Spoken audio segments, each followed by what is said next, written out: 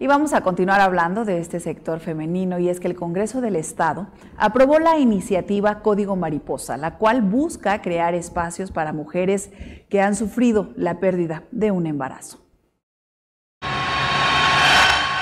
El Congreso del Estado aprobó la iniciativa de la creación del Código Mariposa, que fue propuesta por la ciudadana Beatriz Martínez Monjaraz. Sí, claro, hace ya casi siete años sufrí la pérdida de mi segunda hija, Samantha, a las 39.4 semanas de gestación.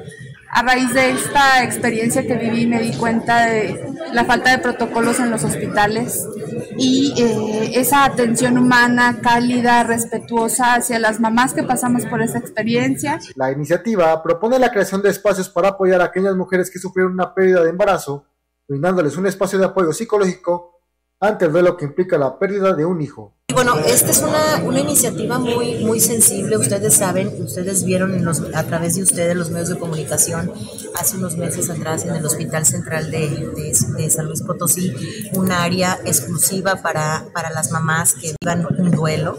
Eh, tú sabes que cuando una mamá vive el proceso de ser madre no, durante nueve meses, y por alguna razón eh, pierden a su hijo, este, qué bueno que ya va a haber un espacio obligatorio en las, en las dependencias del, gobierno del sector salud para que estas mamás tengan una, un acompañamiento eh, después de haber perdido un bebé, incluso este, el acompañamiento psicológico, que es importante, porque muchas veces hay mamás que lo hemos visto que no se recuperan de la pérdida de un hijo.